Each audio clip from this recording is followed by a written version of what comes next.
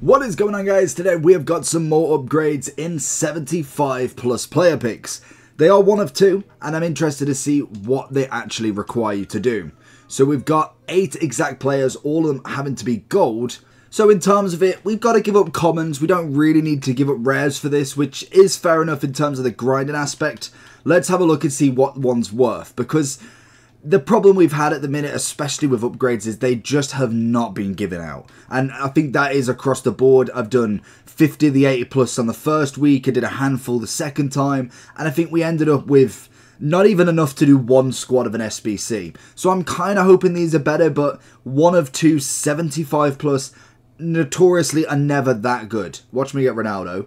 Or not, just get a duplicate 82. So, in terms of it, I don't know how many you'd be worth willing to do for this, but it is grindable. That is going to be the good thing about it. If you've got any sort of duplicate players, we have got somewhere to put them. And I must admit, I do prefer picks to some extent. A, you don't have to give up the full 11, and B, you can pick out of the two. If you've got them duplicate, then fair enough, there's not a lot you can do. But if you get one duplicate card back, like we saw there with our 82, I don't know if we, yeah, we get him here, we can put him back, and technically we only then need seven players. I would always try and use rares as much as possible. Oh, not rares, untradables as much as possible. Because naturally, you don't want to be giving out as uh, kind of your tradable cards in case you want to sell them. Or if you get them duplicate at some point, then you can change them out and sell them on the market then. Second one, any better? I mean, we get one that's not duplicate. I suppose that's a big dub. But also, another way to kind of keep this grind alive, we have now got UEFA marquee matchups and also a Trailblazer 5. So this is going to be the perfect point when it comes to this. We've got minimum tw uh, 22, one uh, gold, the same country 5, players from the same league 4, clubs 4. Okay, that's pretty easy to do. Give me a second. FC24 is here and Skycoach has all your needs covered. From squad battles, champs, qualifications, and even now draft boosting, there is a long list of services they do give, as well as coaching, and also the big one everybody wants in FC24 coins. The service is fast and reliable, and you will get your coins, your boosting services, or obviously coaching in a matter of hours. If you do want to get any of these, make sure you head over to skycoach.gg, go onto the website, and when you go to checkout, make sure that you are using the code JT11 at checkout for your 5% off your orders. And if you'd prefer to do this on mobile, check out the screen right now with the QR code for their mobile app. Oh, nice and easy to get done, just a Bundesliga team. That one's going to be as easy as you can get. Again, going to give you more players to put back in. Whether it's tradable is the kind of next question, but doing all of the SBCs possible. For instance, we do have UEFA marquee matchups, which is a rare, what was that, a rare Electrum? Rare mix player. Then also you get small prime gold, prime electrum. So again, we've got 75 and 77 rated team. You don't want to be doing all of the 75 pluses and then having to go to it because you don't want to be buying anybody. That's going to be the big thing. With the first one, it is a jumbo premium gold. It is tradable, so you could get something from it. We're going to get Ho Hoy Højbjerg. Oh, maybe not. Who on earth is this? 79 rate. Oh, Delaney, of course. So we've got Belgium, but again, more players to go back into the SBC. So we just get rid of all of the rubbish. We don't really need anything else here. And then we'll just put these up. Again, tradable cards. I don't know whether they go up for this or not. Mainly commons, if anything. I don't think rares move just purely for the fact that we don't need them as much. So in terms of SBCs, that's going to be the first place I would go to grind this out. Have a look what you've got left to do. If you've got any player SBCs you want to finish, because naturally, if you do get them, you get some packs back, and you're not going to be putting 84, 85s into this SBC.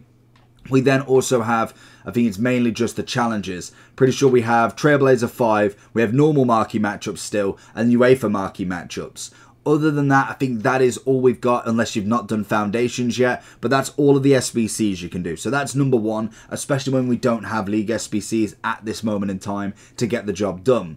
Next up, I'd say moments. If you've not finished any of them, there is still plenty to do there weekly on the on the frenzy. You got the world tour, you've got milestones, journey, and also foundations to get all of the packs. If you've not bothered with any of them, this could be the time to start grinding a few. Get them out if you want to get even the tokens and maybe don't want to buy the packs packs, then they do go over for the next time as well. So if you have 200 stars or 200 points, you don't have to necessarily use them. You could buy the rare player pack and that is it. You could wait until the next one in 10 days' time. So that's going to be another one in terms of more gameplay side of stuff.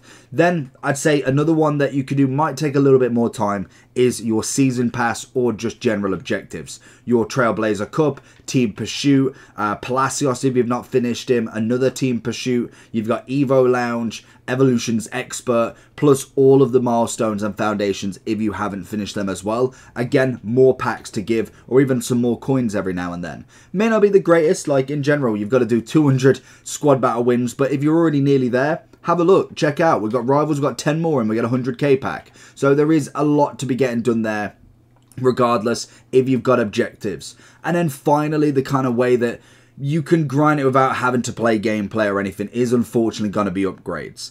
And when I always do this in terms of the Blanc SBC or David Beckham, the main thing is with these upgrades at the moment, they aren't requiring a full 11, which is always nice. So when it comes to the upgrade sort of packs, you want to be looking at the bronze and silver. The gold upgrades don't really apply to this now if you are doing the 75 upgrade if you are still wanting to do the gold upgrade, because naturally you get two players for 11 rather than one pick for 8, which technically does work out better in the long run. But in terms of the argument for that, one gives you no choice and the other gives you a 1 or 2 it'll depend on what you want to go with. We'll do another upgrade anyway to have a look and see if the third one is the best, but they're going to be your best starters. So bronze packs into the bronze upgrade, into the silver. You only technically need to do two silver upgrades per, well, technically free, but you'll get one taken over. But what you could do is do two silver upgrades and then buy the other two, and then obviously you've got one left over potentially if you get a duplicate or someone you don't want to. For instance, we got Becca,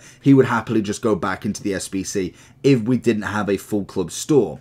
But if you wanted to just do it naturally, two silver upgrades, buy two players, give it a go that way, it's going to be more efficient and quicker if you do that. And naturally, the, the kind of final way is just buying the cards it may not be the most pretty because obviously we don't really want to be spending too many coins on all of this, but you can go and buy them if you really wanted to. We'll have a look at the price in a second, but I think personally it isn't necessarily worth using your coins. And judging from the first two, a 78 and 82, and that's really about all we've got to show for it. Third one up, I, I just don't see the, the kind of appeal to these. With them being one of two, I just don't think you're going to get really anything. And it's unfortunate that upgrades have been like this the whole time now. It is just one of them things that we haven't quite got into the fodder zone. It seems like we're very much kind of herded into buying promo packs to get fodder to be able to do cards rather than just naturally being able to upgrade cards from just playing the game. It, it seems like we don't ever have enough to finish all of these SBCs without really grinding and getting lucky with gold upgrades or player picks, or just naturally getting very lucky for coins to then buy players to then finish the SBC. It is unfortunately that circle that you go into, and it all depends on do you hit the jackpot or not. We're going to get an 84 in this one. Again, we've got them duplicates, so 84s are not going to do too much. Realistically, we're looking for 85 and above, which is most definitely a harder thing to do this year than you'd imagine. But I do think there is an argument between the player picks and gold upgrade. Naturally, the gold upgrade will give you more cards back, and as the player pick is a 75 plus, they almost have that same rate. Yes, you can pick between the two, but if one of if both are duplicate anyway, you might as well have gone for the gold upgrade as well. So I get the theory behind that, and I do see why. If the picks were absolutely goated, then that's fair enough, but unfortunately, I don't think they will be. So it is one of them. So I'd just keep doing your challenges as much as you can. The way I grind the upgrades rather than just absolutely sending the whole club into them, unless I see that they're actually doing really well, I won't really bother touching them unless I get duplicates in an SBC or a pack later on down the line, because naturally I will put eight players into it, but only when I get duplicates. It keeps my club alive and making sure that I've got enough fodder for anything, a marquee matchups, a random SBC, and it saves me in the long run for doing that. And it kind of just sacrifices maybe not doing every single player, but naturally you should be able to grind the game out pretty well. Let me know down below if this did help or if you've got a different method in mind. Let me know if you did get anything from marquee matchups or the picks as well, and I'll catch you all for the next one. Peace.